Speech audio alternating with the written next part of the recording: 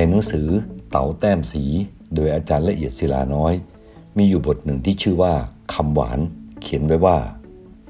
คำหวานมาจากภาษาอังกฤษ sweet word ภาษาไทยแท้เขาเรียกว่า ปากหวาน จะเป็นคำหวานหรือปากหวานก็เป็นเรื่องของปิยวาจาเหมือนกัน เป็นสิ่งที่ใครๆก็ต้องการฟัง แต่คนไม่ค่อยชอบพูด ในหลักการพูดนั้นสอนว่า ต้องพูดคำที่ฟังรื่นหู พูดด้วยคำหวาน พูดในสิ่งหวานที่เขามีอยู่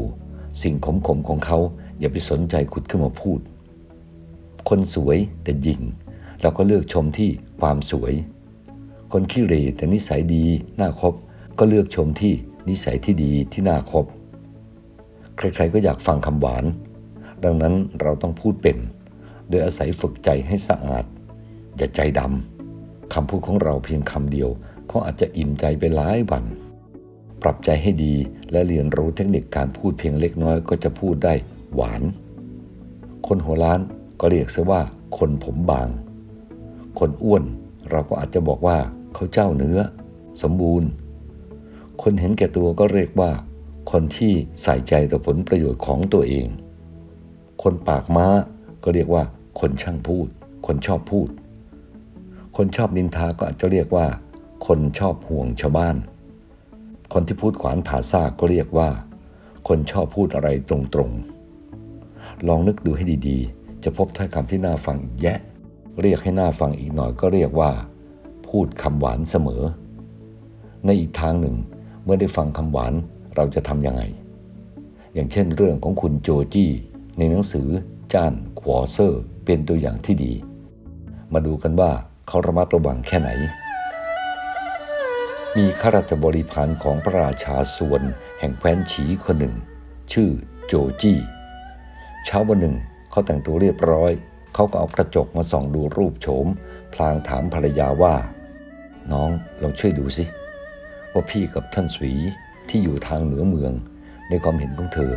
ใครหลอกกว่ากัน ภรรยาของเขาตอบว่า พี่หลอกกว่าเป็นกอง ท่านสวีที่ไหนจะมาเปรียบกับพี่ได้ ที่จริงแล้วท่านสวีเป็นชายงามคนหนึ่ง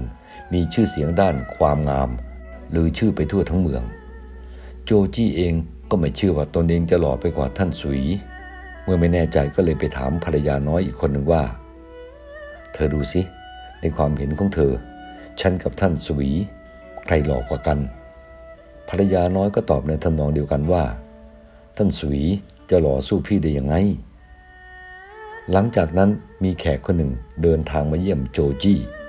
โจจี้ก็เลยถามแขกถึงเรื่องนี้อีก แขกก็ตอบว่า ท่านหลอกว่าท่านสุวีเป็นไหนๆบังเอิญวันรุ่งขึ้น